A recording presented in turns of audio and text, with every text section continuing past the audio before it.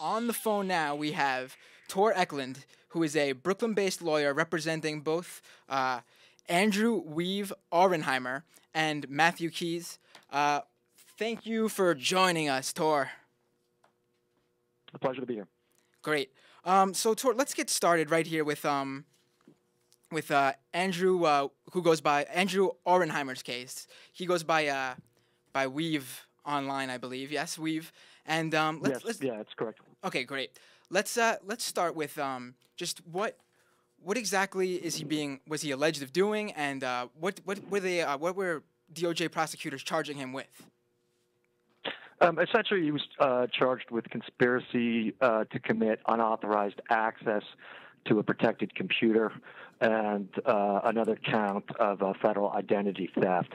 And essentially, what happened is his co-defendant Daniel Spitler, who uh, pleaded guilty and you know uh, took a plea deal with the government. Uh, Daniel Spitler, in I think roughly May of 2010, right when the iPad uh, came out, discovered that if you queried AT&T's iPad email servers uh, with what was essentially a customer ID number. You know, it was a, a SIM card uh, number, you know, printed right on the SIM card. Um, if you queried AT&T's servers with that number and it actually matched a, a SIM card number of an actual customer, AT&T's iPad servers would publish a login window, and in that login window would be that customer's address and then there would be a password prompt where you could enter the uh, password. So Spitler ended up uh, writing a script that basically just counted off numbers, you know, like one, two, three, four, five, six. Mm-hmm. and if he hit the servers with a, a, number that wasn't a customer number, nothing happened. They didn't get kicked off. They didn't get asked for a password or anything. But if they hit an actual, you know, customer number, then that customer's email address was published, and they essentially compiled. Well, Spitler did compile a list of about roughly 114,000 email addresses, and then Andrew uh, Weev took that list and sent it to Gawker after uh, Gawker agreed to, you know, print it in redacted form. He also sent some emails to some members of the media that he found on the list saying, "Hey, you know, we discovered this, you know, thing that AT&T's iPad email servers uh, are doing." And about roughly about a week later, the FBI kicked in his door, guns drawn in Arkansas, and arrested him. And uh, we went to trial. There was a guilty verdict on November 20th, 2012, and he's now been sentenced to 41 months in prison and uh, $73,000 in restitution. How $73,000? What? Yeah, that that's based on a the fact that AT&T sent out a direct mailing to inform all its customers, even though it sent emails to them like a week earlier. Um, uh, and so it's like basically they're they're trying to stick him with the cost of the uh, AT&T's direct mailing to its customers. So basically, I, I just want to sort of drive this point home that um that that um what you're saying is that this what they did basically uh, we uh, Weev and uh, his uh, uh, and Daniel Spitler basically what they did was they th- this is, was all publicly accessible information. There was no breaking of any sort of uh, security system at AT and T or anything of that sort. Correct? That is absolutely correct. And as a matter of fact, it came out at trial that uh, AT&T had made a conscious business decision to have things set up this way. You know, they knew they could have password protected the email addresses, but they decided for customer convenience that they weren't going to do it.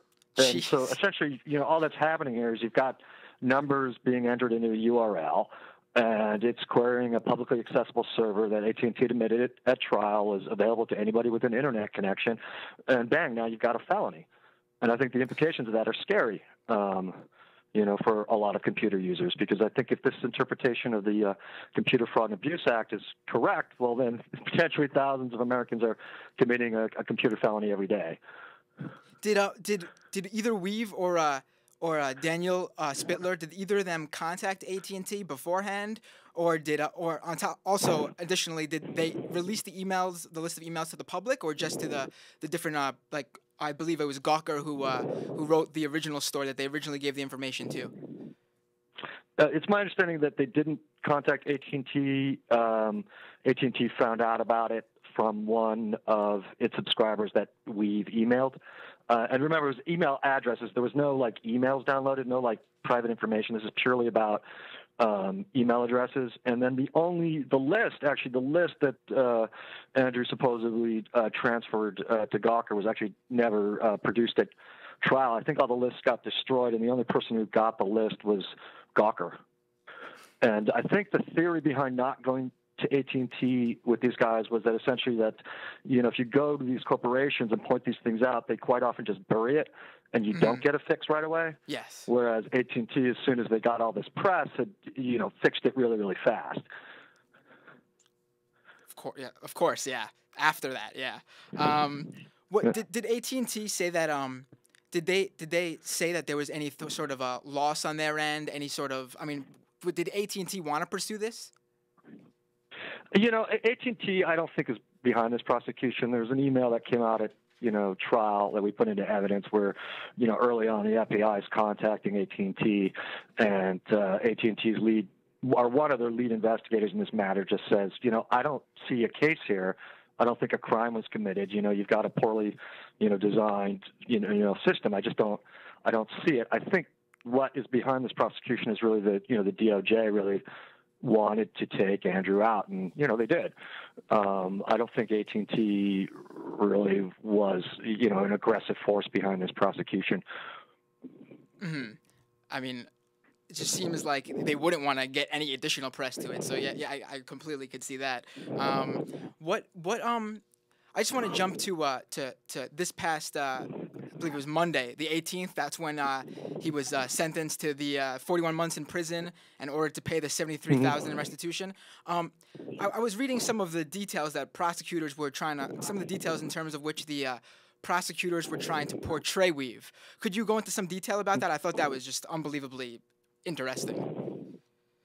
Well, you know, it's sentencing. You're allowed to talk about, you know, the character of the uh, defendant and whatnot. So they just pretty much, I mean, Weev's an infamous internet troll, and they pretty much went to town on that point. They, you know, were pulling out emails where you know that made him look bad, even though it's like you couldn't really I could tell what the context of the email was because they just like pulled it out of his, you know, Gmail account. And and and they just basically tried to make him, you know, look like the horrible person who's, you know, out to make wreck everyone's lives and make tons of money on the internet, you, you know, with you, you know that kind of hyperbole that quite often a lot of these people in these computer circles talk with, uh, you know, kind of got pulled out of context a little bit, I think, in the courtroom and, and just used to, you know, portray him as this horrible threat to the republic that needs to be locked up for everyone's safety, basically. Mm-hmm. I mean, I, I, was just reading through it, and they used his. He did a I am on Reddit the night before just to talk about his uh, his trial, and they, they used that against him because he talked about his regrets of what he did and how he would have done it if he could go back. I mean, just unbelievable stuff.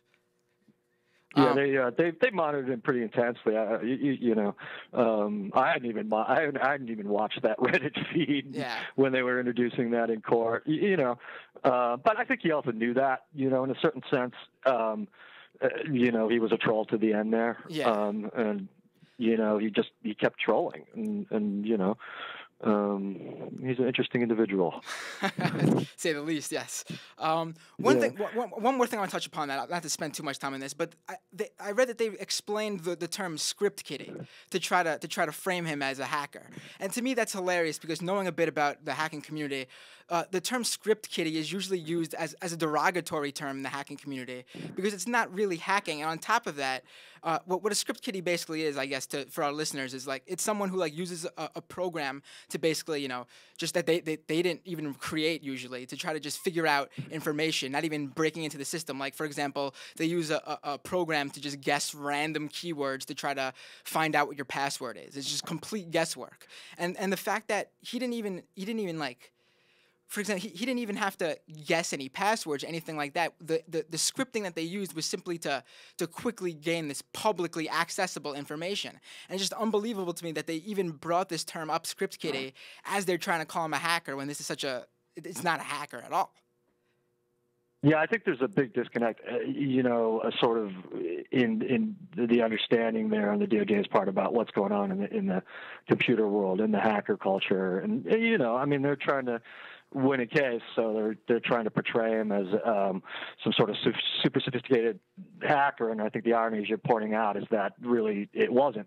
any kind of super sophisticated. It wasn't even hacking. Yes. I mean, this wasn't exactly. a hack. You, you, know, because a hack, I think, really just implies that you're, you know, trying to bypass a password or you're changing code or something. Uh, this wasn't even that. This was just a, a public query to a, a, publicly accessible server. So what what's what's the uh, the I guess you can say what's what's the what, where we go from here with this case? What is uh, the next well, step we, for Weev? We're uh, filing our notice of appeal today. We've got a great appellate team, Orin Kerr, who's uh, I consider to be like the com- uh, top computer law scholar in the country. He writes for Volokh Conspiracy. He literally wrote the computer law case book. He's working on the um, uh, appeal for free pro bono. And actually, I think he we will be posting something on the Volokh conspiracy later this afternoon. Uh, uh, you know about sort of the, what we why why he decided to take the case and the issues that he thinks are important. It. We've also uh, hooked up with uh, the Electronic Frontier Foundation in San Francisco. We got Marcia Hofmann and uh, Hanni uh, Fakhoury over there. So we've got a really good appellate team, and we're going to, uh, you know, appeal this, uh, you know, all the way up the ladder if we can, if we have to. Great. Um, EFF, yeah, a, they're a great organization. Um, before we jump to uh, the the Matthew Keys case, I want to quickly just touch upon. I, I was reading through the uh, the uh, I guess you can call it the uh, where was this the um, in the uh, the he- the hearing uh, ruling that came out and the sentencing ruling that came out. I'm sorry. Uh, I read that. Uh, I was reading through it, and one thing that struck me as very interesting was how uh, you argued how in um, another case that's currently ongoing, uh, Jeremy Hammond's case. Jeremy Hammond is the uh, individual who is being accused of the the Stratfor leaks, and um, the the judge of that case, Judge Loretta Preska, she was asked to remove herself from the case because her husband's uh, email address and those of his clients were part of the uh, the Stratfor the Stratfor leak. Their their email addresses were part of the leak. Um, she said that she uh, would not be removing herself from the case because the emails were publicly available information and they did not injure her husband. So I, I mean, and then you argued that if if if she has this, uh, if the court has this. Uh, this outlook on these emails. How can they not have the same outlook on these emails in uh, in determining Weev's uh, offense level?